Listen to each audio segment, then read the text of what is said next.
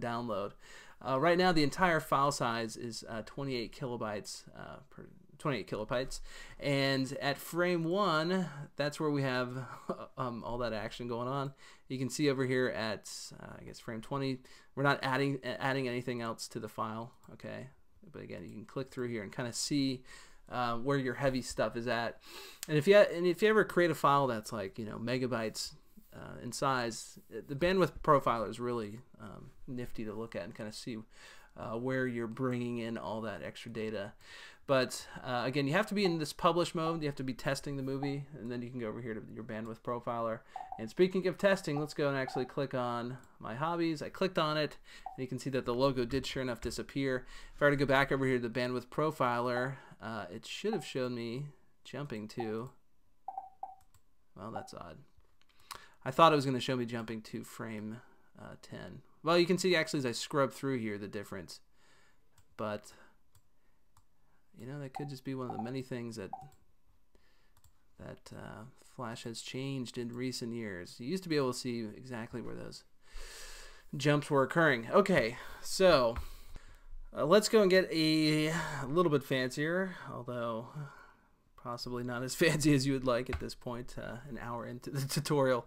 Uh, what we're going to do is, actually before we even mess with the action script, let's go and modify uh, each one of these slightly. I'm going to go dive into the first one, portfolio here, and underneath the highlighted part, um, or the highlighted later layer, I'm going to hit F6 right here, and I'm just going to select this. It is selected, there we go, and let's uh, change it to a color so that uh, when you click down on it or when you press down on it, you actually um, get to see that um, press down action occurring. Okay, and let's go and do that for the other menus. And just to change things up a little bit, I don't know why you just saw that. That's weird. Huh.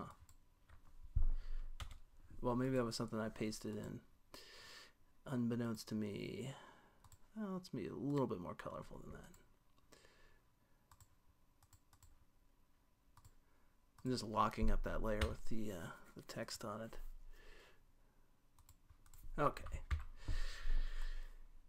And back over here, where all of our action script is, uh, we are going to make a slight change to uh, the the two uh, buttons that um, do something when you click on them. We're going to change these to mouse up. All right. And what that means is that your mouse actually has to be um, clicked down and then released over top of uh, the button for you to be able to uh, trigger it. And so it's also uh, ever more important now that we we had those kind of uh, dummy highlights on frame one. Uh, because if we just had text right there, that means your user uh, would have had to click down and up perfectly over top that uh, text data, which of course you can see, you know, you, your mouse might fall between between the you know the blank space and the O, and then that would keep it from uh, triggering the button. And that's something I see actually on a lot of people's websites is that, or a lot of new kind of Flash users that they, they make that mistake where they don't actually give you that uh, kind of uh, hit area uh, to work within for triggering events. Uh, now that we have changed that, uh, we can go and basically copy out all this good stuff and change it ever so slightly to put down mouse down and go to and stop three. Uh, I think we can paste that in because I do believe that you guys have seen enough of how uh, those, the, the basic stuff works like that. So we should at this point be able to publish and let's see, I did get an error. Uh, I've got an extra character somewhere, frame 33, that's right there, I accidentally pasted in too much. Okay, let's try that one more time. Let's get rid of seeing the bandwidth profiler. Okay, so now when I click down on this, I should, and I'm kind of holding down, clicking on it, I should be seeing uh, my hobbies and uh, that jump to that frame. So I'm to, oops, I'm to click down on that. If I release outside, it won't actually trigger the browser window opening up. Uh, one thing you might want to do though, now notice when I click down on this and then I release, right now it still stays at purple. Um, I should probably include in the up event that it, it goes back to um, uh, frame one. So here's a case where we could hard code in menu 2 dot go to and stop 1 and let's do the same thing for this guy right here. Um, although, you know, event.target could also work there.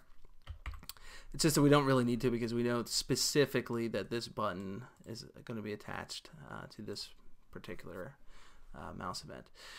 Okay, so uh, now let's give it a shot. So I'm going to click down on that, let go of it, and well, we didn't get to see it there because the browser window came in the way, but we'll do it with this one. So let go, and sure enough, it went back uh, over that way. And I guess also too, it could go to frame two because considering you're still kind of hovering over it, and that maybe makes a little bit more sense. Okay, uh, go back over here to the timeline. And what else are we to talk about? Okay, let's go and double click on portfolio. Uh, right now, this is just editable artwork that we're using. It's uh, not something I prefer to do, um, but we've already done it, so we can't undo it. But uh, the reason being is because you always have a chance of like maybe editing this somehow or like selecting something and then deleting it. And I tend to kind of make my selections in the program by selecting um, things. So, um, yeah, there's always a chance it can get messed up. So let's go and uh, go to convert to symbol. Again, that's F8 is the nicer, faster way of getting to that. And we'll call this um, animated highlight. Okay. We can now um, double click inside of here, and of course we'll be working uh, inside of the layer um, with that highlight. And uh, we generally are not going to want to um, animate uh, editable artwork there. So let's go one more time and convert it to a symbol. And uh, this time we'll call it, um, I don't know, highlight within animated highlight. Not a great name, I know. All right. Um, we're going to do a relatively simple animation here. I'm going to come out to frame 5. I'm going to hit F6. Uh, yeah, I'm going to hit an F6, even though I'm using Flash CS4. I think uh, there's still plenty of reason to go with uh, using a, a classic tween or what in the previous versions of Flash was just called a motion tween. So if you're using Flash CS3 to do this, you're going to want to go to create motion tween. If you're using Flash CS4 or higher, um, in this case, I think it's just fine to go to create a classic tween. I think it's a little bit easier. And uh, select the first frame. Click on uh, style alpha. So we'll just have this kind of fade in like so. And what we want to do is make sure that this doesn't just kind of loop infinitely, which is what it would do if you just stayed uh, over top the um, rolled over frame. And we just, uh, on that fifth frame there, we want to write a stop action. Okay, so it's going to stop right there. And I did hit F7 to hotkey a blank keyframe right there. And of course, there's all sorts of other things you could do too. You could um, you could scale it or stretch it in. So uh, holding down, well, if you press Q, that's your hotkey for this.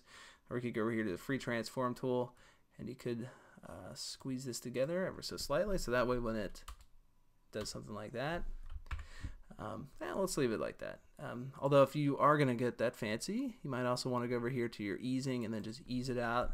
So it kind of smooths out a bit toward the end. You can see that a little bit more if you put in a few more frames. So I'm going to select both layers here and hit F5. Okay, that's going to add in two more frames. If I do it again, that'll add in two more frames.